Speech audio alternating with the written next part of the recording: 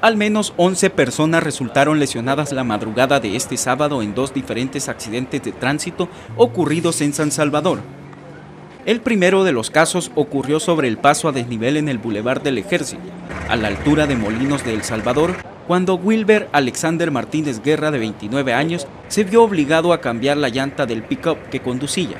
En el accidente, seis personas resultaron lesionadas y fueron identificadas como Estela Claros de Martínez, de 31 años, Mirna Daisy Rivera, de 28, Mayeli Estefanía Martínez Claros, de 12, Fátima Marlene Hernández, de 21 años, Anderson Emanuel Rivera, de 3, y Cecia Azucena Rivera, quienes fueron trasladados a diferentes centros asistenciales por cuerpos de socorro.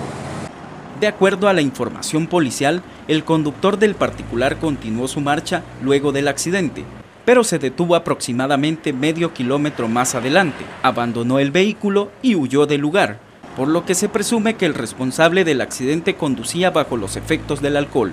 Son tres personas las que están en estado crítico, ¿verdad? El estado de ellos pues, es bastante reservado por el tipo de lesiones que tienen, tanto a nivel de tórax, eh, de los miembros inferiores y superiores, ¿verdad? Y fracturas expuestas también.